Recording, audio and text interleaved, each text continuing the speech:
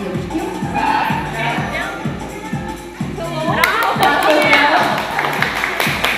Здравствуйте, мужчины, тоже вижу. А можно музычку, да? Да. Сегодня с чтобы попить, поэтому лучше буду говорить. А, я рада видеть. Поздравляю вас, собственно, с тем, что вы живы сейчас в выходящих, как очень тяжело. Понимаю, что это непросто. Ну и себя поздравляю. Надеюсь, что до конца выступления мы окажемся или останемся с вами свеженькими и будем способны еще воспринимать какую-то информацию. Тяжело, когда жарко вам? Давайте тогда будем активно как-то махать. Да? А, я не буду говорить, что я буду вас охлаждать, скорее наоборот, э, постараюсь сделать так, чтобы вы не сгорели, ваш внутренний жар э, не сильно вас ударил, но все-таки хочется, чтобы мое выступление, вот я уже стала громче говорить, хочется, чтобы мое сегодняшнее выступление оставило какой-то, ну, как минимум, приятную мысль, э, такого тараканчика постелила в вашей голове, который бы принес вам, собственно, то, что на сегодняшний день больше всего нужно. Да? Сложно, как я говорю. А, но факт остается фактом, потому что а, каждый раз, когда мы приходим на какие-то мероприятия, мы наверняка приходим а, с каким-то вопросом, с каким-то поиском, может быть, в поиске чего-то нового для себя или в поисках, возможно, себя. По крайней мере, каждый раз, когда я посещала какие-то мероприятия и думала, зачем я иду слушать каких-то разных странных людей, я понимала, что что-то, видимо, есть такое, что мне сегодня нужно найти. И вот мне бы хотелось, чтобы хотя бы кто-то из вас в моем выступлении нашел то, что ему сегодня больше всего необходимо. А, ну, в общем, все, пока чуть пособирались, я поговорила. А, скажите, пожалуйста, кто из вас со мной знаком? Ну, по крайней мере, так. Окей, это хорошо. Всегда гораздо вкуснее, когда поднимают весь зал и думаешь, что же теперь рассказать, все все знают. А так можно петь песню сначала. А, ну, давайте немножко вкратце. У нас сегодня, к счастью, наверное, нету а, никакой никакого экрана, потому что обычно включается достаточно искусственная презентация, э, где лектор говорит, вот, посмотрите, это все я, и это тоже все я. Вот, мне сегодня придется быть э, за всех, поэтому э, и за экран, и за девочку, которая говорит, поэтому я вкратце буквально несколько слов вам скажу о себе, чтобы было более-менее чуть-чуть хотя бы понятно. Э, Оля, Ермилова. А, мне 32 года. Пока еще не 33, но в этом месяце уже исполнится. Какой капец, ужасное осознание. Но на самом деле уже, наверное, э, тот самый момент настал, когда я поняла, что такое, когда взрослые люди говорили мне, что возраст это всего лишь цифра. Это на самом деле так. А, у меня есть две дочери, одной из них год и восемь, второй четыре семь, в общем, где-то так. Месяца у них путаю, кому семь, кому восемь, но это не так важно. А я замужем, и у меня, как уже есть несколько бизнесов. И, собственно, все это вроде бы достаточно банально, есть дети, есть а, муж купил ей бизнес, понятное дело, ну, это как бы стандартное наше а, восприятие женщины, если у нее что-то есть, но а, я не буду сегодня рассказывать всю историю в деталях, просто а, поскольку тема моего выступления звучит, что как превратить, в общем-то, свое, то, что ты любишь делать, да, давайте на русском языке, то, что ты любишь делать в деньги, я хочу рассказать вам о том, как это произошло со мной, как я э, смогла превратить все в деньги. Потому что на сегодняшний день у нас э, есть с мужем несколько бизнесов. Один из них, э, с чего, в общем-то, начинала, это свадебное агентство, которое называется «Идеальная свадьба». И этому бизнесу уже 8 лет. А, собственно, с него стартовала, наверное, моя основная карьера как бизнес-тренера, потому что я начала обучать изначально девочек, как э, создавать свадебный бизнес. Вот, потом родилось, как вообще создавать бизнесы в таком э, формате, в котором работала я. И, а, собственно, затем родилось а, маркетинговое агентство. И, в общем-то, э, сегодня на этих примерах я хочу рассказать вам в реальных каких-то цифрах, показателях и использовании тех возможностей, которые у меня были, как из ничего можно создать много. Потому что э, я не просто человек, у которого есть какие-то бизнесы, я человек, у которого который заработал более уже нескольких миллионов долларов на этих бизнесах. А, я человек, который сделал это с мужем, и мы сделали это даже не с нуля, а с минус позиции, потому что а, мы попали в кризис и, в общем-то, потеряли а, все то, что у нас было. Я человек, который любит ставить совершенно какие-то безумные цели, вот, и как-то их достигать, знаете, так чисто по-женски. Ах, как-то я это хочу и как-то я это сделаю, да? Если мужчинам нужны бизнес-планы, как это сделать обязательно, нужно очень прагматично понимать, то как бы в моем случае это все не работает, потому что если я хочу, то я уже обязательно найду, как это сделать. Но а, мое отличие, наверное, от все-таки большинства женщин в том, что я это нахожу не так, что да, кто бы подарил или кто сделал, а все-таки а, задавая, ну, используя те возможности и те навыки, умения, которые мне дали, в общем-то, при жизни, и те, которые я смогла а, взять дальше, вот нарабатывая их, используя, в общем-то, и развивая основные свои какие-то сильные стороны. И, наверное, на этом я бы хотела сегодня а, заострить внимание, потому что а, большинство женщин, да и неважно, давайте не женщин, мужчин, всех разных людей, а, в какой-то момент начинает волновать вопрос, как мне зарабатывать на жизнь и как мне реализовываться в жизни, правда? А, для меня этот вопрос стал очень остро, а, значит, если так чуть-чуть предыстории, в 19 лет я а, попала в женскую группу. Вот, в попсовую группу, называлась она Гавана, было тогда, если помните, ну, может быть, кто-то из вас помнит, кто-то нет, по возрасту уже, уже есть возрастная группа, оказывается, эти времена не помнит. А, был такой продюсер Александр Егольник, который зажег э, в свое время Наташу Могилевскую, написал ей песни «Ла-ла-ла». И вот в это чудное время я как раз с ним познакомилась, его имя гремело, и он создавал женский коллектив, у, меня, у него была группа «Игрушки», вот, и я попала в его женскую группу и считала, что я стану настоящей звездой. А, в общем-то, это произошло не просто так, потому что а, до этого момента я где-то лет 10 э, пела, пела и танцевала в детских коллективах. И всю свою вот эту вот детскую жизнь, знаете, я гастролировала, выходила на сцену, я очень сильно это любила. И когда подошел момент поступления э, в университет, э, я была еще отличницей, конечно же.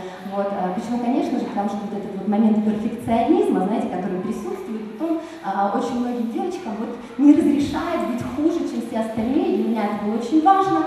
И когда я начала значит, задумываться, куда поступать, моя душа говорила мне о том, что у тебя должно быть что-то творческое, а как бы мои родители и все мое окружение говорило о том, что а, у меня должно быть что-то серьезное, да, ну чтобы вот, ну это не серьезно быть кем-то там в университет культуры идти, ну фу, ну туда идут какие-то там ну, мелочи, ну что вы.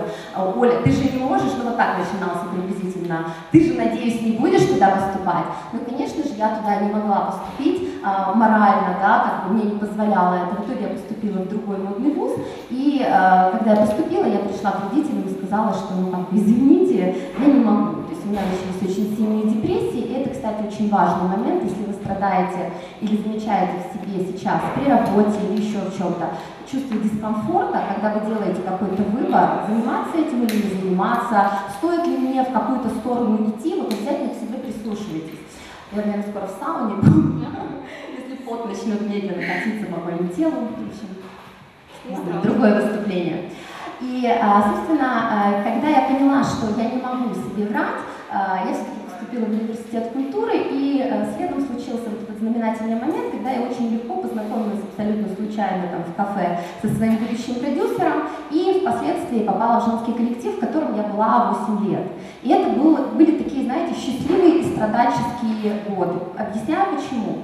С одной стороны, я чувствовала, что это круто, потому что я делала то, что мне нравилось. А нравилось мне непосредственно выходить на сцену, мне нравилось разговаривать с аудиторией, потому что очень важно, когда артист умеет прежде всего общаться, не только петь, особенно когда ты в женской группе, особенно когда ты выходишь на сцену в трусах и лифчике, да, условно, особенно когда из девушки и э, твоя группа не супер популярна, и, соответственно, девушки не пищат от тебя от восторга, а мужчины пищат, когда выходят там 4-19-летние девахи а, вот, э, со всеми формами. И, естественно, очень важно было научиться устанавливать контакт с залом для того, чтобы мы могли нормально работать. И, собственно, девочки танцевали, понимали, что мы здесь не конкурентки. И э, в какой-то момент я поняла, что вот этот момент общения с аудиторией э, нравится, да, то есть я словила, что это кайф. И мне показалось, что сейчас я хочу, чтобы вы слушали меня между строк в том числе. Потому что то, что я говорю, очень важно, это не просто моя история. А, мне показалось, что я не могу оставить сцену, что по-настоящему мое призвание, потому что я испытывала колоссальное удовольствие. То есть, когда я выходила на сцену, мир замирал. И мне никогда не нравилось петь. Давайте так, откровенно, да? То есть мне не нравилось петь, хотя пела я весьма неплохо. Вот, а, мне никогда не нравилось петь, но мне очень нравилось общение с аудиторией. И вот в какой-то момент я поняла, что моя группа не супер популярна, я, мы зарабатываем не супер много денег. А, все как-то есть, вот знаете, как работа очень часто. Вот она как бы есть, тебе вроде бы она нравится, но ты не видишь какого-то развития.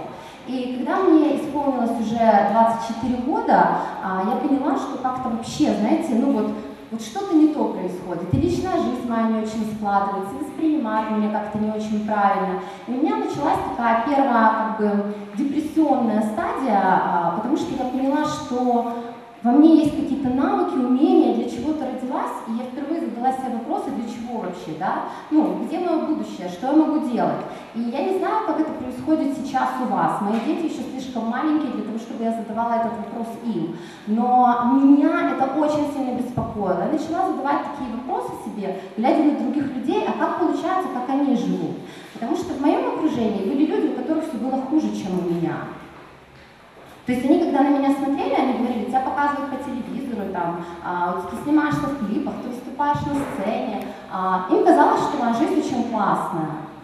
Потому что они работали на обычных работах, зарабатывали там мало денег совсем, а я еще умудрялась там покупать какие-то более дорогие вещи, но это вообще отдельная история, да, жизни женщины, как она умудряется тратить больше, чем зарабатывает.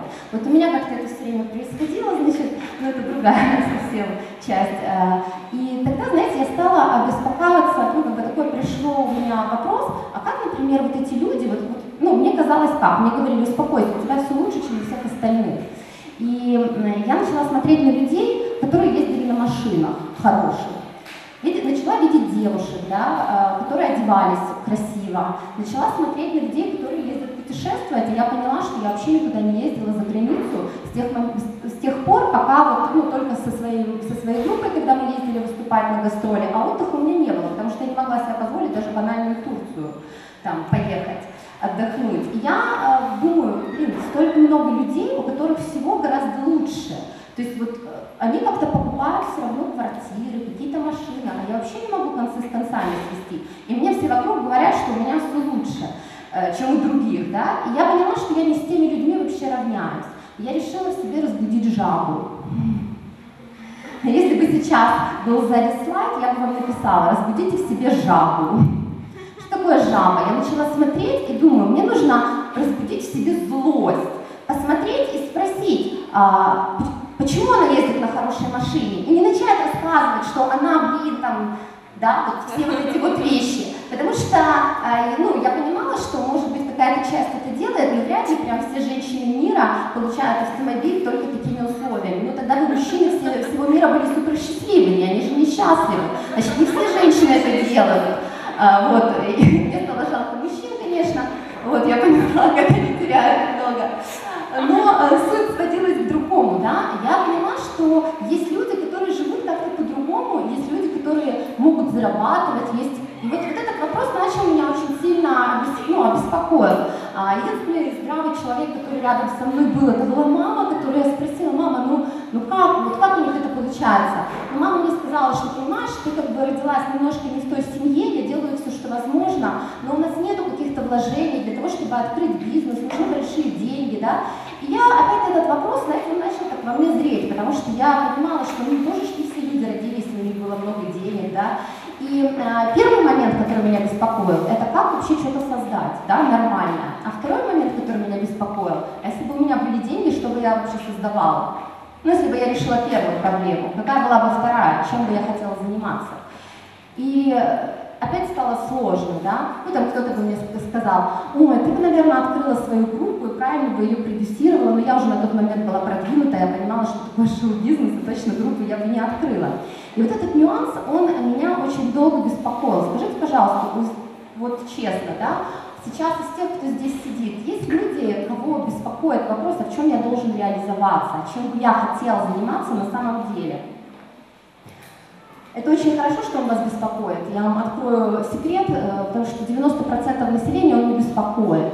90% населения живут как растения, их абсолютно устраивает то, что есть. Они смотрят новости, возмущаются, говорят, как же выжить на эти суммы, да, э, но, в общем-то, никогда не задают себе вопросы, как сделать так, чтобы меня это не беспокоило беспокоило. Вот меня это начало очень сильно тяготить. Э, далее упустим моменты, которые происходили в жизни, потому что я искала активно а, ответы на эти вопросы. И это, наверное, следующий нюанс, который бы я хотела, чтобы вы услышали. А, очень важно не закрыть глаза на то, что вас беспокоит, а сказать себе откровенно, это проблема, я хочу найти ее решение. У нас такое психологически получается выступление.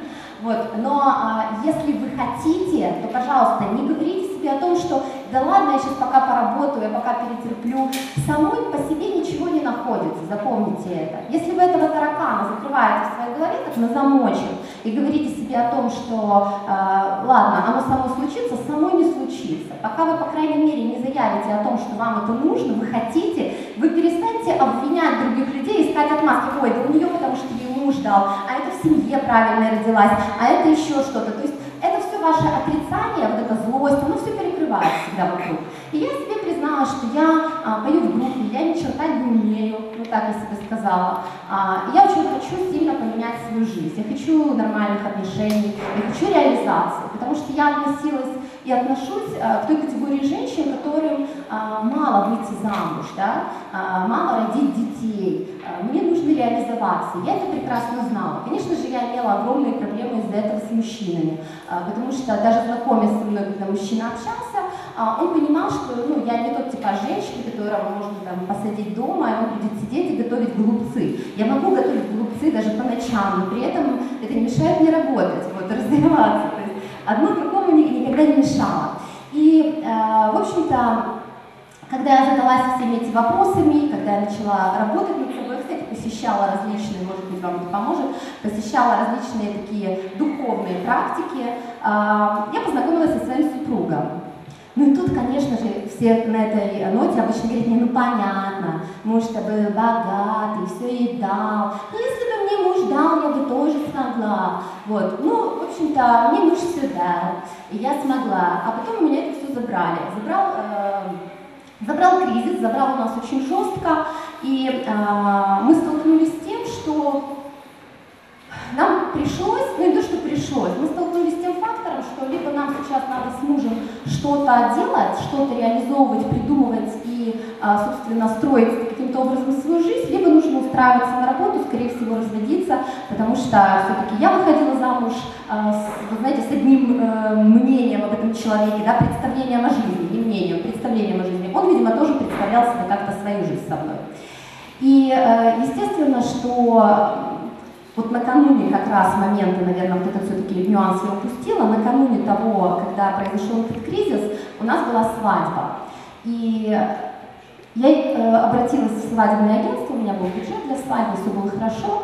И когда я начала обращаться в свадебное агентство, я по жизни такой А, перфекционист, Б, э, я была на сцене, я организовывала очень многие вещи, какое-то время я даже была директором своей группы, потому что по жизни у меня есть такие очень хорошие организаторские способности. Я понимаю, как все должно быть, и могу легко построить других людей. Вот. Э, для людей не всегда легко, для меня легко. У людей обычно стресс, они сходят с ума, некоторые заканчивают самоубийством, но у меня все получается. Вот. А поэтому для меня это легкий навык. И а, когда я начала строить другие свадебные агентства, других людей, а муж мне сказал, слушай, ну а, ты же хочешь развиваться, заниматься, начни заниматься организацией свадеб. И я как-то подумала, как девушка, поскольку у меня не было на тот момент, очень короткий момент в моей жизни, полгода, у меня не было финансовых проблем, да, мысли о том, что они у меня когда-нибудь появятся, я подумала, ну круто, да, я действительно хочу заниматься организацией свадеб. И у меня, знаете, было представление о бизнесе такое, как сейчас у сидящих людей здесь в зале, у которых бизнеса нету. Что бизнес э, открыть это э, надо какое-то помещение, каких-то людей, включить рекламу, и вот он бизнес. И, в общем-то, я взяла ресурсы, которыми муж со мной поделился на тот момент, и э, арендовала дорогой очень офис, э, наняла хороших сотрудников, вот, ну и решила, все, я организовала, я свою работу выполнила. Но я не знала о таких вещах, как маркетинг, я не знала о таких вещах, как УТП, в общем, я ничего о бизнесе не знала. И когда э, грянул кризис, то естественно, что э, ну, стало все сильно хуже, чем было до этого момента. И, ну, в общем, мой бизнес, ну, то, что называется, да, бизнесом, не имел э, шанс вообще на существование, на то, чтобы выжить. И вот тогда э, я впервые поняла, что ну, за тот период, да, что для того, чтобы у меня сейчас все-таки что-то получилось, мне нужно включить свой мозг. И мозг не в плане того, как потратить деньги, а мозг в плане того, как заработать деньги, используя те навыки, которые у меня есть. И я начала думать, а какие сильные навыки у меня есть. И вам бы тоже рекомендовала об этом подумать. Я думаю, так, что я умею делать? Я умею общаться с людьми, не боюсь этого. Для меня завести разговор с человеком, расположить его или не расположить его, это уже не имеет значения, как пойдет дело, да, или в ту или в другую сторону, но проблем нету. А потом я поняла, что я умею весьма неплохо писать. На тот момент, как бы это странно ни звучало, интернет еще только-только, соцсети там начинали, да, что-то, еще не было такого активного, это 2009 год начало. А, я поняла, что я умею писать, и я решила вести блог. О чем писать я еще не знала, но это не имело значения. А, далее я поняла, что мне нужно где-то выступать и каким-то образом что-то придумать, чтобы мне затягивать людей э, и рассказывать им о той услуге, которую я даю. Потому что э, в 2009 году услуга организации свадьбы, вообще в качестве, ну, с организатором, это было еще такое, ну, как бы не совсем продвинутое действие, и даже там по поисковым запросам в интернете было очень мало откликов на это. И, а, собственно, я подумала о том, что я же не боюсь аудитории. А что, если я придумаю какие-то мероприятия, куда я буду приглашать невест, девочек и рассказывать им о том, как готовить свадьбу. И вот, э, взяв вот эти вот три небольших навыка, а еще я подумала, что я умею, поскольку писать, я могу журналам предлагать делать, э, публиковать свои статьи, потому что э, я могу их убедить в том, что их статьи очень плохие. Вот что я, кстати, успешно делала. И плюс у меня было очень хорошее эстетическое понимание, а, потому что за счет того, что я была в шоу-бизнесе, я очень хорошо разбиралась в фотосессиях, в постановочных съемках, в том, кто такой хороший фотограф или плохой. В общем, набор был колоссальный. Вы понимаете, что не стартануть и не выстрелить с этими гениальными навыками было очень сложно. Я взяла это в кулак, потому что в одной стороне у меня стояло вот это, во второй я понимала, что мне нужно идти работать секретарем, да, потому что, ну, больше я не понимала, что я могу делать, да. Я не супер классная вокалистка, я не супер крутая танцовщица, в общем, я во всем не супер. И э, вы не поверите, но э, в течение нескольких лет э, это дало мне возможность превратиться в топа. Я стала использовать все, что у меня попадалось, когда я обнаружила, что э, нету, то есть ко мне пошли невесты, я стала проводить мероприятия, ко мне пошли невесты, и я в какой-то момент обнаружила, что нету специалистов именно моего профиля. Мне, мне нужны менеджеры, мне нужны какие-то организаторы, я их решила начать обучать. Я думаю, ну что делать? Мне было очень жалко, потому что это все были такие, знаете, мои кровные навыки. И э, мой муж мне говорит, Оля, э, а давай ты будешь девочек обучать. Для тебя не проблема три дня говорить перед аудиторией, у тебя даже голос не садится. Давай ты, ты девочек невест обуч... ну, не обучаешь, там, ведешь им мероприятия. А, а почему ты этим девочкам не будешь? Я ему говорю, я могу вести, но только очень дорого, потому что ну, мне как бы жалко рассказывать им информацию. И Сергей на тот момент он тоже начал там, уже продвигаться в бизнесе, там, в обучении, в разных форматах. Он мне сказал очень правильную вещь. А, может быть, вам сегодня это тоже поможет. Он мне сказал, а, ты знаешь, э, сейчас у тебя есть шанс стать первой. И стать первоисточником того, что ты расскажешь этим людям. А, и ты навсегда останешься в истории. Пройдет еще год-два, и об этом начнут рассказывать все, потому что это уже будет доступный опыт. И я его послушалась я а, начала обучать. И а, за счет того, что я продолжала много писать в соцсетях, а, вести рассылки начала и так далее, в какой-то момент совершенно непостижимым образом для меня а, меня начинают приглашать э, по всему СНГ на какие-то конференции, выступления. А, меня начинают покупать э, за большие деньги, там меня начали покупать коучинг за 10 тысяч долларов. Мои чеки начали очень расти, и я вдруг оказываюсь а, на интервью на одном российском э, канале, и мне задают вопрос, Ольга, а как вам удалось э, стать самым высокооплачиваемым бизнес-тренером на свадебном рынке СНГ? И тогда я впервые поняла, что действительно этот момент случился. Как? Не понимаю, потому что все, что я делала, я делала по кайфу и с драйвом. Знаете так? Ну, типа, а что нет? А прикольно. И э, давайте на истории сейчас чуть-чуть сделаю паузу. Я хочу, чтобы вы об этом подумали. Потому что э, когда мы начинаем искать, а в чем я могу быть лучше, а как мне зарабатывать деньги, мы начинаем искать в чем-то совершенно глупом. Э, у нас с мужем были тоже такие э, как бы ситуации, паузы, да, когда не все получалось, и мы начинали думать, может быть, нам лепку пельмени организовать, там, знаете, покрышки начать продавать, стены там красить, ремонтные бригады организовывать. Но а, есть такая штука, когда вы что-то придумываете, поспите с этим 2-3 дня. Если вы понимаете, что каждый день вы просыпаетесь, а лучше вы ночью не ложитесь спать, и вы говорите «Я хочу!» Вот я говорила так. Тогда а, это то, чем вам нужно заниматься. Если вы говорите себе «Да, это хорошая идея продавать воду, да, и вы себя уговариваете, а вода гребаная не продается, вы не хотите этим заниматься, вы говорите, что-то я не могу найти времени, чтобы вот узнать об этом, что-то я не могу найти времени, чтобы пойти куда-то. Это говорит о том, что это не ваше, и вам не интересно, и не надо себе врать. И то же самое касается той работы, на которой вы сидите, и портите бизнес своим а, любимым боссом. Потому что когда человек оказывается не на своем месте, вы сидите и ненавидите своего босса, ненавидите свою работу, то, что вы делаете, вы мечтаете, когда закончится ваш рабочий день, вы отравляете свою компанию ядом и свою жизнь в том числе. Подумайте о том, кому, кого вам жалко больше, босса или себя, потому что кому-то больше жалко босса. Не любовь к себе, она тоже у нас сегодня существует. Я, возможно, не самый мягкий спикер на э, вот этом мероприятии, вообще по жизни, но зато я самый правдивый и единственный, кто не будет вам сегодня врать. Так вот, э, подумайте над тем, сколько удовольствия есть в вашей жизни. Знаете, самое ужасное, что я помню мысли свои из детства, самые дурацкие, вернее, не дурацкие, а прикольные даже, но меня это очень сильно ужасало. Я помню, как я шла в школу во второй класс э, утром, такая в троллейбусной остановке. Иду темно еще, потому что зима. И я такая иду, иду и думаю, ё-моё, это я сейчас только во втором классе. И до 11 класса мне нужно будет каждое утро, кроме лета, ходить в эту школу. А потом я пойду в институт и буду 5 лет точно так же ходить. А потом, что самое ужасное, я пойду на работу и буду ходить так и до 6 вечера работать и ждать, когда наступят выходные. А настоящим праздником в моей жизни, когда у меня будет 10-дневный отпуск государственный на базе э, Маринка. И это брак. Потому что многие до сих пор считают, что жизнь это такое очень тяжелое испытание. И что э, просто кому-то повезло, но не мне. Кому-то повезло. Я наблюдаю сейчас за жизнью своих одноклассниц. И я вижу, что ничего не поменялось с тех пор. Потому что мы считаем, что поменяться может только если удачно сложатся обстоятельства. А поменяться может только если вы сами удачно сложите свои обстоятельства. Все то, что у вас сегодня есть, то количество денег, то, на чем вы сюда приехали, то, во что вы одеты.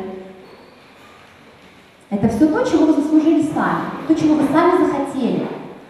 Как бы это неприятно не звучало, это факт. Вы можете считать, что вы классный, что вы гораздо лучше, что вы офигенный. Ну, вы такой, какой вы есть сегодня. То, где вы живете, то, какая у вас есть квартира. Это то, на что вы сегодня способны, то, на, на что вы реализовали свой потенциал. Неужели кто-то из вас верит, что нас прислали в мир, некоторых из нас, как неудачников, выпихнули под зад и сказали, иди, ты в этой жизни ничто. У тебя в этой жизни ничего не будет. Им повезло, мы их с левой дверки выбросили, а тебе не повезло. Это не так. А все потому, что вы попросту не смогли найти то, с чем сюда должны были прийти. И вот, когда я начала анализировать впервые, а, а как, как, как получилось, как вот этот путь, вы знаете, вот все всегда, а, когда задают вопросы о том, такой популярный вопрос, как вы достигли успеха, да? Многим людям такие вопросы задают. Все всегда считают, что это выглядит приблизительно так. Вот тут человек шел, тут не было успеха, а потом он сделал так, и тут успех наступил, пришел. А, ведь нет четкого перехода между этими действиями. Совокупность тех действий, которые вы совершаете, и определяет вас на какой-то точке, куда вы идете дальше. Это ваш успех или ваш неуспех. Вот, самое плохое, что мы делаем, это то, когда мы не слушаем себя. Это то, когда мы чувствуем, что мне не нужно сюда устраиваться на работу, или мне не стоит этим заниматься, или мне не нужно встречаться с этим мужчиной, или мне нужно разорвать эти отношения, или мне нужно пойти куда-то дальше, или мне нужно этому подучиться. У меня душа начинает петь, когда я об этом думаю. Мы всегда себя не слушаем. Мы слушаем родителей, которые все знают, да? Они лучше, естественно, знают. Папа так всегда говорит, я лучше знаю. Мы ему верим. И э, самое вот это вот грустное, это то, что мы, даже слушая это здесь, закрываем уши и делаем вид, что это не для нас. Мы не пропускаем в себя эту информацию. Ну, как бы это все глупость. Ну, девочка какая-то вышла в белом платье, какую-то фигню чешет. Ну, я-то знаю правду жизни, у меня-то понятное дело. Вот. Она-то сядет на свой Порше, укатит, у меня-то жизнь тут, здесь, прямо сейчас.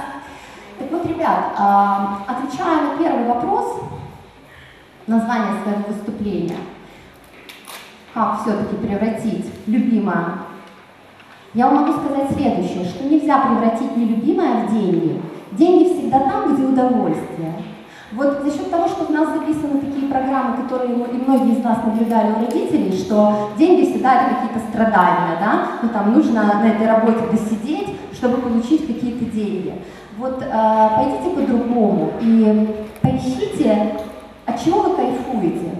От чего вы кайфуете, это э, хорошо проявляется в том, а что у вас получается. Ведь мы всегда получаем удовольствие от того, вот, что у нас получается, правда? Если задать ребенку вопрос, вот я Алису спрашиваю, тебе что больше нравится, например, бальными танцами заниматься или гимнастикой? Она говорит, гимнастикой, потому что у нее это лучше получается, она это чувствует. И вот каждому из нас при рождении даны такие вещи, которые у нас лучше получаются. Я, например, вообще не умею рисовать, да, совершенно как бы моя вещь. А, может быть, вам это покажется совершенно глупым, но сделайте простое упражнение, я вам рекомендую для себя сегодня. Это просто начните с того, что запишите все, от чего вы получаете удовольствие. Что вам нравится делать? Чем вообще кайф? Вот абсолютно все. И я вам могу дать сто процентов, что деньги находятся там. Потому что а, только когда вы подумаете над тем, где кайф, и подумаете над тем, каким образом это можно развивать в деньги, вы а, не просто обретете себя, и вот это модное слово, свое предназначение, но вы и обретете то, где, понимаете, что, что очень важно в деньгах. Деньги – это энергия. А, для того, чтобы было много энергии, много денег, нужно много удовольствия, да, вот этого кайфа, такого ощущения. Когда мы а, делаем, вспомните, что-то, что нам не нравится, нас это очень сильно гасит внутри, да, мы мучаемся, мы страдаем, мы думаем, как это побыстрее закончить. И вот а, в какой-то момент я поняла, что меня перестает зажигать то, что я делаю. Да? Я поняла, что как-то, знаете, а, мне нужен перерыв. Тоже такой очень интересный момент был в моей жизни. И у меня начался финансовый спад в том числе. То есть я поняла, что что-то что, -то, не то. И это было очередное терзание. И вот э, исходя из этой мысли я могу сказать, что не ждите, что в жизни будет всегда, вот вы найдете свою дорожку, вы будете идти по ней, да, и только кайфовать. А моменты роста обязательно должны быть, а рост это всегда боль. Боль, страхи, сомнения, терзания, и очень важно переходить на какой-то уровень, не бояться этого делать. А, и порой, бросая себя а, куда-то в некомфорт, да, бросая себя даже в какую-то жуткую иногда среду, в неопределенность, да, когда, а что такое неопределенность? Когда ты, например, это закончила, здесь еще не начал, да, а тебя это гораздо быстрее заставляет включиться, адаптируются твои силы и, собственно, найти выход. Ну, в моей жизни хватало еще э, очень много таких важных вещей было, как мотивация, да. Почему, например, э, есть люди, по моему определению личному, есть более успешные, есть менее успешные, есть люди, которые больше хотят, есть которые меньше. Большинство людей ничего не хочет их ничего не мотивирует. Как бы вам сейчас это ни казалось, опять-таки эта фраза, а, но это правда. И а, мне повезло, потому что я все время хочу. Я всегда в своих этих выступлениях говорю, и жизнь мне еще послала а, прекрасных твоих дочерей, которые хотят тоже. Я обожаю с ними заходить куда-то, потому что они всегда кричат «хочу, хочу!» И я прям, знаете, купаюсь в этом, потому что я понимаю, что у меня никогда не закончится силы, у меня никогда не закончатся идеи, у меня никогда не закончатся проекты, потому что они хотят, это же классно, что они хотят. Мама обычно говорит, ну мы не можем, тебе не надо. Я говорю, здорово, хотите, давайте пофантазируем на эту тему. А, потому что это классно, это тоже энергия, которая приходит. И вот в моей жизни а, развитие шло следующим образом. Я поняла, что как-то а, свадьба круто, там, типа лидер, там, номер один, здорово, замечательно, а, есть аудитория, есть конференции, есть там, ну, очень все круто. Но я поняла, что я пришла к какому-то потолку, потому что каждый профессиональный мир, среда, да, он ограничен. Ну, тут знаю всех бухгалтеров, тут всех свадебщиков, тут там э, всех юристов, еще что-то. И мне как-то стало скучно. Конечно, это страшно всегда признавать, особенно, опять-таки, тут как университет, знаете, все говорят, ты же умница, красавица, как, как же ты можешь? А я поняла, что мне как бы скучно, я больше не хочу. А, ну, я хочу в новую, я хочу в среду, там, где я никто. Я хочу нового полета, я хочу нового подъема. И естественно, а, что мысль о переменах ко мне в голову уже не пришла. Да? Э, я снова задала себе вопрос, а что ты умеешь сейчас, что ты круто делаешь от чего ты поешь, да, от чего, от чего, что твоя команда, на что она способна. И мы а, начали это анализировать вместе с командой и увидели, что а, самое крутое, что мы сделали, проанализировав, мы поняли, что мы очень круто реализовались именно в сфере интернет-маркетинга. Мы очень круто а, разбираемся в email-маркетинге, потому что да, это письма, которые вы получаете, потому что много лет мы уже это делаем, и, в общем-то, Э, умеем на этом хорошо и, и раскручиваться, и зарабатывать, и прочее, прочее. Мы увидели, что мы очень хорошо анализируем бизнесы и видим в каждом бизнесе, где их проколы с точки зрения непосредственно маркетинга. И таким образом, э, буквально недавно у нас родилось маркетинговое агентство, причем сначала несколько наших знакомых начали к нам обращаться с таким моментом, вы можете посмотреть вот на наш бизнес, проанализировать его, сказать, что не так, и началось, давайте там сайт не то, это не то, так не то. И а, в общем-то, дальше мы поняли, что а, еще ничего не делая, еще ничего не объявляя, у нас вдруг появляется очень много работы. А, я, например, считаю своей самой такой сильной любимой стороной, я очень люблю писать. И писать не просто, а если кто-то читает э, мои рассылки иногда, то знает, что у меня есть такой свой особенный стиль в написании, и мне очень нравится то, что мы делаем. Мне очень нравится э, создавать отношения с аудиторией, мне очень нравится аудиторию щипать, провоцировать, э, возбуждать, будоражить, э, делать разные вещи, повелевать, владеть, и при этом делать так, чтобы жизни тех людей, э, которые меня читают, менялись. Потому что э, сегодняшнее мое выступление, оно не для слабых, я даже удивлена, что столько людей здесь выходит в зал, не плачет. Иногда бывает, знаете, как когда показывают эти секты, там стоит отец такой, что-то говорит, и человека кидает так вот. Иногда тоже такое бывает на моих выступлениях человек не выдерживает, вот его психика как бы не может э, удержать. Но э, у меня никогда не стоит задача кого-то там обидеть, да, или сказать, что вы все плохие, ни в коем случае. У меня задача стоит всегда главная. Дать вам понять, что каждому из нас дано что-то очень сильное и очень важное. И единственная э, задача, которая есть перед нами, это раскрыть это, не спрятать ни в коем случае, не прожить эту жизнь гадко, жутко, там, в страданиях, мучениях. А, ну, я не верю в то, что хотя бы кого-то одного из нас за этим прислали. А, но почему-то у людей не хватает смелости вот принять это и хотя бы попробовать поискать. Все настолько привыкли смириться, а, да, самый большой бойкот, который или там бунт, который люди способны сделать, это взять и палками друг друга побить. Но тут ведь это не работает, э, к счастью или к сожалению. Здесь нужно себя поковырять, знаете, где-то до крови, где-то признаться себе в этом. Я э, долгое время в своей жизни страдала от полноты. Вот. Я была толстая, вот, как сказал мне мой продюсер, жирная. И я этого не видела. Мне было очень комфортно, хорошо с собой, вообще меня это не парило. Пока Саша, э, вот тот самый, который взял меня в группу, он мне сказал, ты жирная толстая корова, вот, если ты не похудеешь, то я тебя не то что в группу не возьму, но как бы у тебя всю жизнь будет, ну, фиговая. И э, в мои 19 лет это был очень большой стресс для моей психики, потому что я впервые как бы разделась, посмотрела на себя в зеркало, и э, ну, я как бы приняла, что я толстая жирная корова. Ну, то есть это была не совсем правильная вещь с его стороны, но э, она как бы и с одной стороны мою психику э, пошатнула, с другой стороны я ему благодарна за это.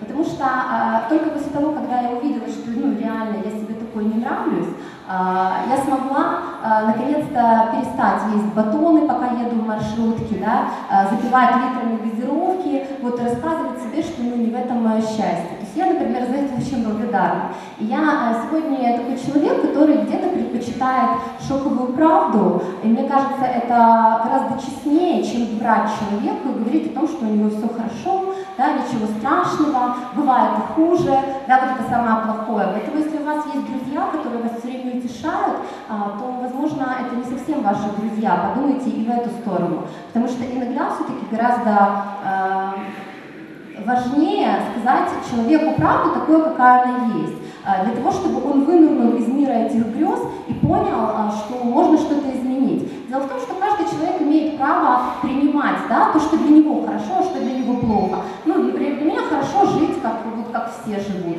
Ну, супер, живи, да. У меня там есть друзья, знакомые, наверное, не друзья, знакомые, которые говорят, ну вот мне не нужно, как тебе, мне не развиваться, мне не нужно ездить на дорогие курорты, меня это все не зажигает, мне хорошо вот тут в гидропарке, в бассейне лежать, да, там с пузом, а, арбуз с него собирать, вот, и мне нормально.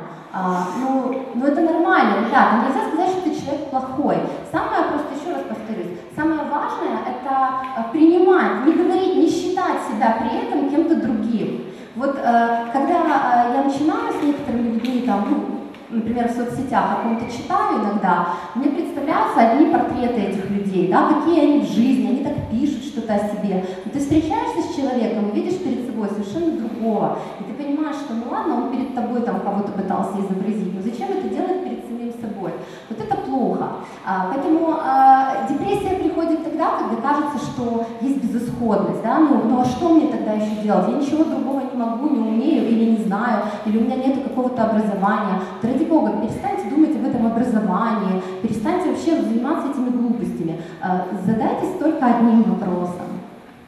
Чего хочу? Что мне нравится? И поищите просто, посмотрите вокруг, как это можно, а, многие говорят, ну то, что мне нравится, нельзя э, превратить в деньги. Это тоже неправда. Это тоже неправда. Да, конечно.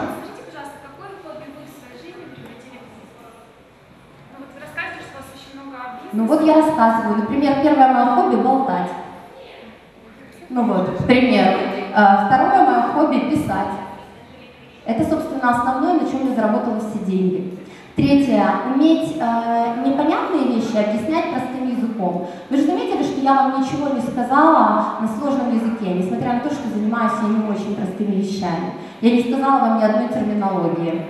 То есть, э, есть, вам кажется, что ну, надо же обладать какой-то степенью кандидата, профессора и еще кого-то, чтобы зарабатывать деньги, но это не так. Нужно быть человеком, который умеет решать те проблемы, которые есть у той аудитории, для которой он что-либо продает. Решать ту проблему, которая есть. Вот и все. А, поэтому вот все эти мои, скажем так, хобби, а, моменты организаторские, да, то, что я могу собирать правильных людей, выстраивать правильные процессы и делать так, чтобы это давало результат. Вот я могу сегодня смело сказать, если бы тут были люди из больших компаний, я бы прям поспорила на миллион баксов. Квартиру бы свою продала. Что я могу прийти в любую компанию и выстроить процессы таким образом, что денег станет больше, чем было. Даже если половину из них я потрачу. Чуть-чуть. Но это слабость. У каждой женщины есть слабость. Э, давайте, очень интересно, если есть какие-то вопросы, я с удовольствием вам отвечу. Очень хорошо, если на девишнике есть какое-то общение.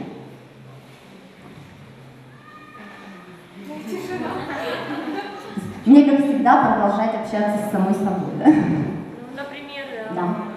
если вот пришел э, человек с работы, да, вот, у него есть любимое дело, и он пока что занимается, работая на себя.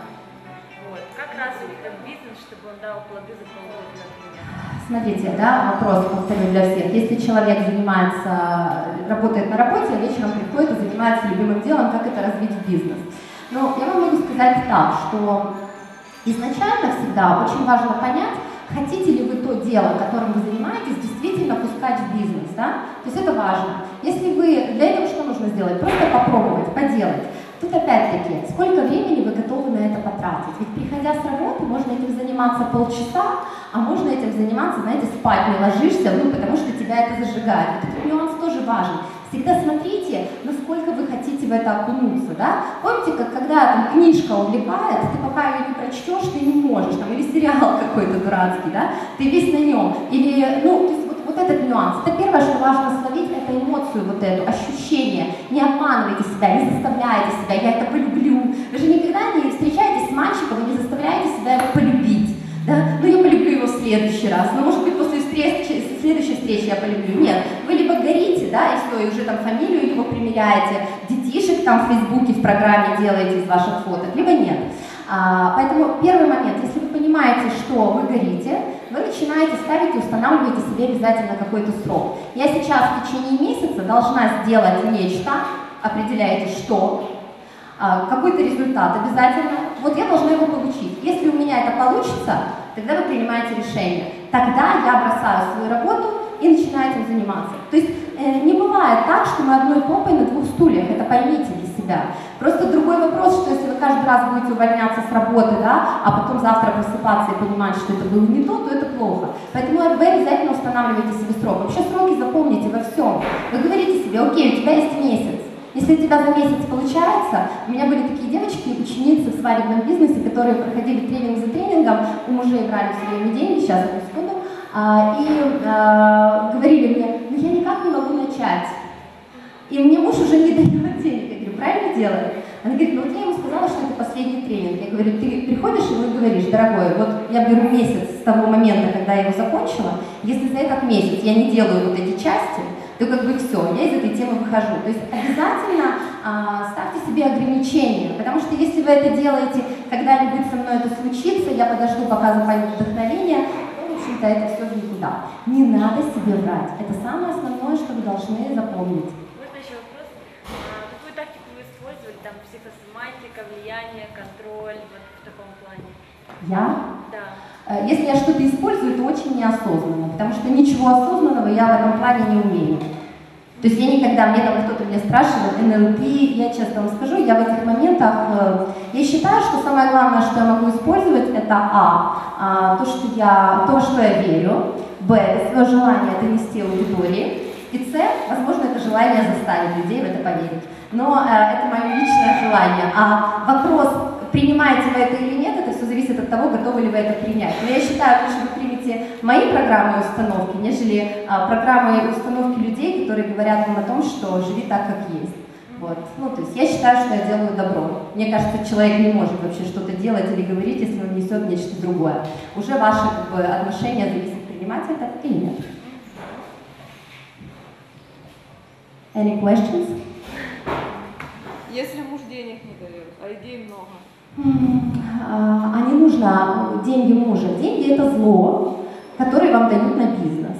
Вот пока вам дают деньги, вы думаете о том, как их потратить. Когда вы хотите по-настоящему чем-то заниматься, вы задаете себе вопрос, а каким образом я могу заработать. Если ваш мозг дает вам ответ, а для этого мне нужны какие-то там деньги, то задайте ему следующий вопрос. А что мы с тобой прямо сейчас можем сделать, чтобы эти деньги получить, раз они нам так с тобой нужны? Вот это основное, потому что до тех пор, пока муж дает деньги, это проверенный опыт мной и еще многими людьми, мы эти деньги тратим. Мы думаем о том, куда на стенку прилепить картинку, какой порожек отбить, вот, как хорошо будет смотреться вот эта вот штука обязательно за 500 баксов, это будет имидж, вот, обложку журнала можно купить, да, вот, то есть все очень просто. Так, у нас что по времени, все окей? Ну, как бы, я думаю, еще один вопрос и будет окей. Да, Да? Там кто-то захотел задать вопрос, еще девушка, да? Да, да, конечно. Скажите, пожалуйста, какой правильный по- алгоритм построения бизнеса? Вот начиная с бизнес-плана, бизнес-идеи, набор группы команды основной, то есть как это все происходит? Вот от начала и до конца. И, в принципе, если у человека есть идея, где искать лучше инвестора? Как это все правильно продвигать? Так, а, у нас есть аренда где-то до конца месяца, до 31 июля. Мы тут можем. Запомните главное, а, я не могу вам ответить на этот вопрос, к сожалению, э, в течение одного спича. Я могу сказать так, перед тем, как э, делать какой-то бизнес, задайте, вернее, найдите ответ на вопрос, где в нем деньги. И попробуйте заработать их прямо сейчас. Если вы что-то хотите сделать, пойдите, попробуйте. У вас вам нужен ресторан, например, да? А задайте себе вопрос, как я буду этот ресторан продавать. Найдите ресторан, который уже существует, и попробуйте его продать. Вот. Если у вас это получится, тогда уже задавайтесь другими вопросами. Еще раз, самое главное правило, перед тем, как э, что-нибудь создать, Не думайте о том, как потратить, думайте, как достать деньги для того, чтобы их вложить. Поверьте мне, с тех пор, когда я стала зарабатывать деньги, никакой рекламы никогда в жизни я не купила, не обдумав этого, не задав главный вопрос, сколько денег мне это принесет. Любые вложенные деньги должны приносить. Когда мы начинаем думать, как потратить деньги инвестора, как потратить деньги еще у чьи-то, это самое приятное, что есть. Но, увы, это не бизнес. Бизнес – это там, где деньги приходят. Вот и все. А деньги должны приходить именно те, которые ваш бизнес способен провоцировать. Вот и все. Учитесь на маленьком. И не ставьте себе блоки, что без денег бизнес открыть нельзя. Это все неправда. Их нельзя открыть без мозгов, поверьте. Большое количество денег и отсутствие мозгов, э, в общем-то, ничего не поможет. Вот. Я вам желаю, чтобы у вас все получалось. Я хочу очень, чтобы сегодняшнее выступление каким-то образом на вас э, отразилось, положительно или позитивно. А, здесь э, есть э, номер телефона, на который вы можете отправить э, свое имя и свой email, и мы вам пришлем запись одного моего мастер-класса, который называется «Мозговзрыв», а, собственно, в котором я как раз э, и рассказываю, посвящаю очень много времени непосредственно тому, каким образом найти э, найти те сильные стороны, которые помогут вам реализоваться. Спасибо большое, что вы тут были, спасибо большое, что вы все не поплыли. И спасибо, что пригласили. Спасибо вам большое за ваш мастер-класс, за ваши теплые пожелания. Эти аплодисменты. Давайте еще раз поаплодируем Ольга Людмила.